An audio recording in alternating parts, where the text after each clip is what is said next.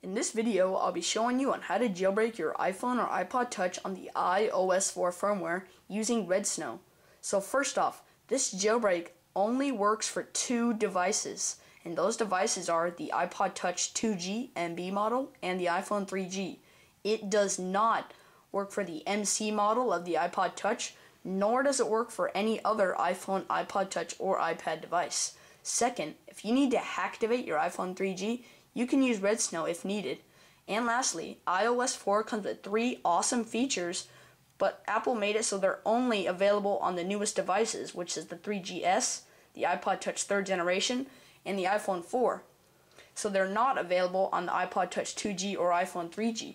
But if you use Redsn0w to jailbreak your device, you can enable those three features, which without jailbreaking you normally can't, unless you had the newest device. And those three features are multitasking, which is a huge one, home screen backgrounds, and the battery percentage. So now we got that out of the way, let's move on to the actual tutorial. The first thing you want to do is you want to go to this website, and the link will be down in the description right below this video. And you scroll way down to the bottom, and you should see something in the lower left hand corner. It's called download links. And you want to click whichever operating system you have. So I'll select Windows. It should bring you to this website you want to click here to download your attachment. And you will need a program to open up zip files. So basically you download the zip file, open it up, and there will be a folder. You double click that folder and the Redsn0w program should be at the very bottom. So drag the Redsn0w program once you've downloaded it onto your desktop. So once you have the Redsn0w program on your desktop, as you can see I'm highlighting it on my desktop right now, you can move on to the next step which is finding the 4.0 firmware that you use to update your device. So if you used iTunes to update your device, then the 4.0 firmware will be somewhere on your computer. So you can either do a search on a Mac or you can go to My Computer in Windows and you can do a fast, simple search of it. And you should be able to find it. And once you find it, drag it onto your desktop. So as you can see right now, I have both of them right on my desktop. I have the 4.0 firmware file and I have Redsn0w. So once you have both of those files on your desktop, you can move on to the next step, which is simply opening up Redsn0w. And as you can see, it looks like that. And you want to click Browse. And then you want to find the 4.0 file, which should be on your desktop, well, the 4.0 um, firmware. So select it and click Open. It should say Processing Firmware and it will ask you if you have an MC model and of course this jailbreak does not work for the MC model so you want to click no. And you want to click next. And it will do a few things.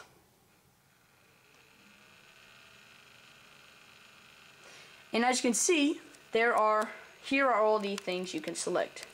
You can select to install Cydia and I would recommend not doing verbose boot or custom boot logo or custom recovery logo but I would definitely um, recommend selecting enable multitasking, home screen wallpaper, and battery percentage. Alright, so once you have those uh, checked, you can click next. So now I'm going to have to do something with our with our device. So I'm going to show you my iPod Touch.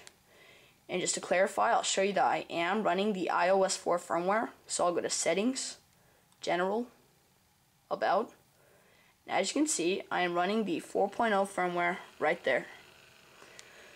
So, first thing you're going to have to do is plug in your device. So, plug in your device right now to the computer. Once it's plugged in, hold down the power button and simply turn it off. So once your device is turned off, so you can't do it in reverse order. You can't turn off your device and plug it in because then it will have to boot back up. So you want to plug it in first and then turn it off. Once you've done that, you want to click next on the Redsn0w program. So follow the steps exactly as I do it. So hold down the power button for 3 seconds. And then press the home button but leave the powered button down for 10 seconds.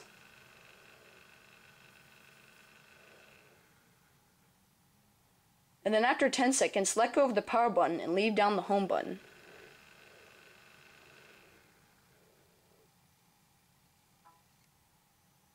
And Redsn0w should recognize your device. As you can see, it says waiting for reboot.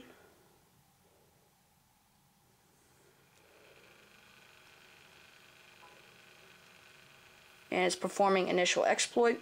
And it should say a few things on Redsn0w. I'm just saying them to you. and it's waiting for reboot again. Now it's uploading the RAM disk. And on your device it should say downloading jailbreak data. And remember, while doing this, do not unplug your device.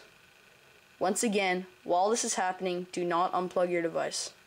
So now it is uploading the kernel, and now it's going to be rebooting. And so it says done on Redsn0w. So you can click finish, and Redsn0w should exit out. So now we're just going to focus on my iPod Touch. And I'll take the time now to please thumbs up this video, leave a comment, and also subscribe. So I'll come back when it's almost done. Alright, so then your device should reboot and the Apple logo should come up. And I'll also say this also, um, sorry, I'll also say this now. If your device gets stuck while saying downloading jailbreak data or when the pineapple was up, then you can always restore your device. And by doing that, you can put it into DFU mode and then restore on iTunes. So I just want to say that now, because one times it hap- sometimes it happens to me, and I have to. Just by doing a simple restore, you can totally fix the problem. So as you can see, here's my iPod Touch, the 4.0 firmware, and there's Cydia. And as you can see, before I did this video, the background was black, but now, since I enabled that feature in Redsn0w, I have a custom background on the back. And just to show you that multitasking works, I'll open up the settings application. I'll open up weather. I'll open up notes. And I'll double tap the home button. And as you can see, there's the multitasking feature. And then the battery percentage can be enabled in the settings application too. So thanks for watching guys. Once again, if the video worked for you or you just liked it, please thumbs up, leave a comment, and also subscribe. Thanks for watching and see you all later.